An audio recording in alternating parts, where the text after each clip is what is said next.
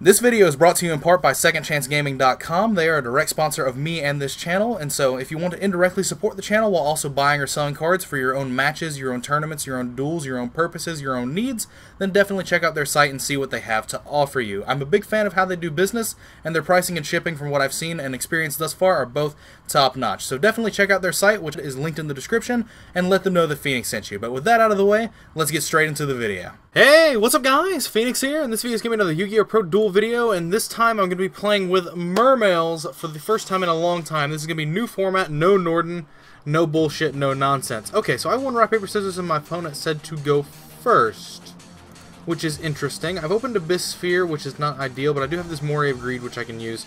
I could have just done the Teus Aqua Spirit play to go into double Bahamut Shark, double Toadally Awesomes, but I would rather try and draw into some actual, you know, stuff to utilize. Um, now, I've got a Swap Frog, which I can use. I can actually go Swap Frog uh, Toadally Awesome into Toadally Awesome and go into Abyss Gaios here with this with this uh, set of cards. So we'll do that. Um, it's it's not as ideal as it could be, but the Abyss Sphere is going to be backing up my play line to where it allows me to have multiple defensive lines. So it's uh, it's a bit weird that my opponent said go first, but hey man, whatever.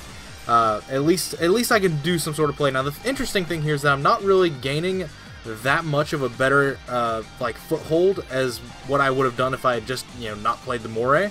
But the thing is, is that like playing the Moray is what gave me the shot to get where I am, and it is a little bit better in terms of uh, the Toadally Awesome is going to be actually you know properly loaded and I'm going to be making instead of two toads I'm going to be making Abyss Gaios and one toad uh, with the Abyss Sphere still backing up now it puts me into a very very poor situation of requiring um, requiring specific things to go right for me uh, in order to like keep the game state working in a proper method but we should be able to make those work. That should be fine. Um, that's the hope, anyway.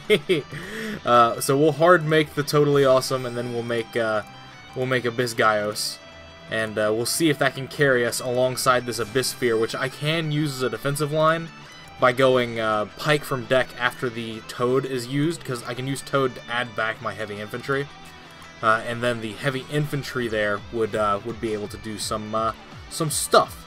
But during the standby phase, I'm going to use the Toad here. I'm going to use it so that it puts the Ronin back in grave. And then I'm going to get the Swap Frog from deck. Now, if I have to negate a card, I am going to tribute the uh, the Toad. Um, let's see. What's in my grave? I've got this. Um, I've got a Swap Frog under that, so no. I'm not going to use the Swap Frog, because that's going to make me send the one from field. I'm going to leave this here. Uh, Fluffal Bear. Uh, okay, so all I have to do is I have to just prevent him from fusion summoning. That's all that I should have to do. Uh, prevent him from fusion summoning or prevent him from, you know, resolving Fluffal Wings. If he has access to Fluffal Wing here, oh, he's discarding another toy vendor.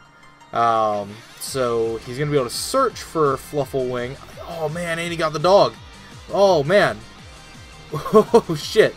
Um, that's a bit problematic to a degree. I think I'm gonna use my Gaios on that. I really don't want him to get that extra, uh, that extra stuff. Uh, now the thing is with Gaios is Gaios is good in terms of how it how it functions against his deck essentially, because Gaios prevents all level five or higher monsters from attacking as long as it has an Xyz material.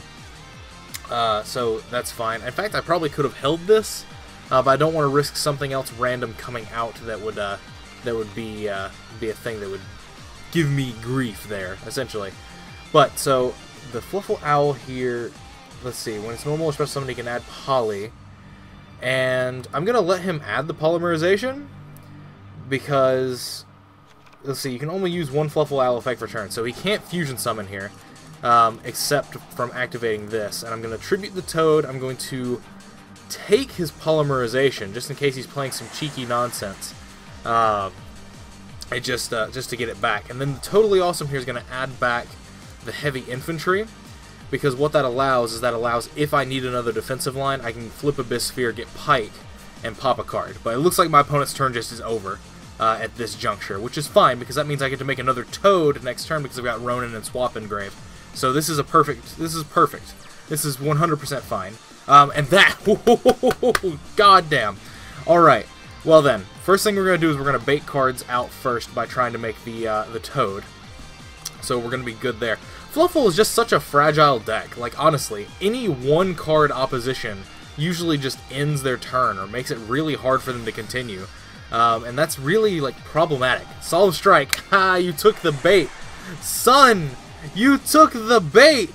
Alright, so what I get to add back here is I can add back my Abyss Gun. That would actually be a fucking amazing. Uh, because I can use this. Uh, the Bissphere can extend my reach even further. Uh, I cannot make another natural Toad. Uh, so that's a little bit of an issue, but I do just get to normal summon Neptabyss, and I get to literally end the game this turn. Uh, like, goddamn. So, we'll do that. We'll add the other Dragoons.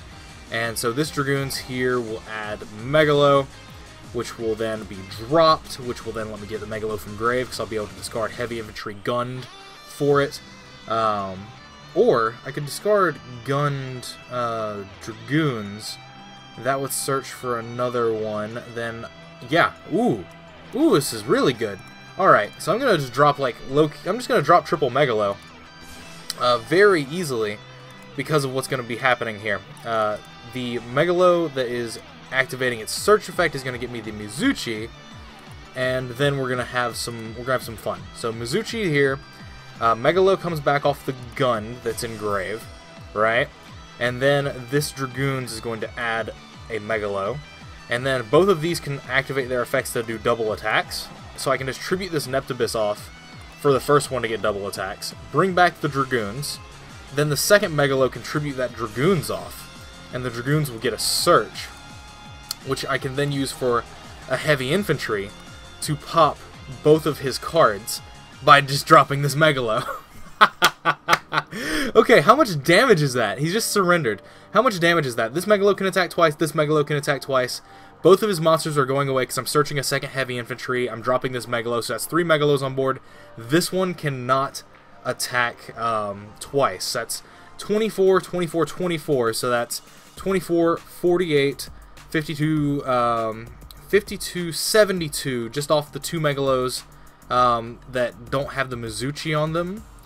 And then there is, uh, then there's the Mizuchi Megalo, which is attacking for, so it's 72 plus 32, which is 10,400, plus 32 again, which is 10,600, 13,600, plus the Abyss Gaios, uh, which 13,600 plus 8 um, is uh, 14,000, 14,400 plus, uh, plus 2,000, 16,400 plus the Abyss Sphere, which could get the Abyss Pike out of my deck for another 1,600. So that was 16 4. That's 17. That's 18,000 damage. oh, well then. All right. That was uh that was uh, a little bit interesting. I just I really I really love Fluffals how they're designed as an archetype. They've got so many good quality cards. Fluffals is one of those archetypes that I don't rag on because of them being just poorly designed. I believe the archetype is very well designed.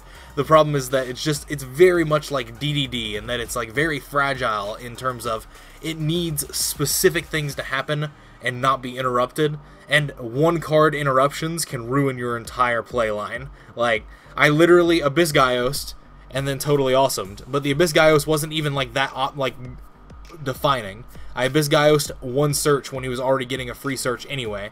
And the only thing that really mattered in terms of what I interacted with him was the one Toadally Awesome that I negated his poly with. That's it. Like, you need to be able to activate poly and be able to resolve it. Um, and like me taking the poly meant that even if he had something like Frightfur Factory, he couldn't banish the poly and fusion like fuse anyway. Um, so like it's just it's it's a problem. It's a problem playing a deck like Fluffal, which is such a shame. I really enjoy the Fluffal deck because, like I said, they've got some of the most quality cards I've seen in a fusion archetype ever. Like every single card has an amazing purpose. The Toy Vendor Fluffal Wing interaction is insane. Like this deck has a Stratos, this deck has a Shaddoll Beast, this deck has like um, uh, a Tin Complete Goldfish, this deck has a way to search Poly.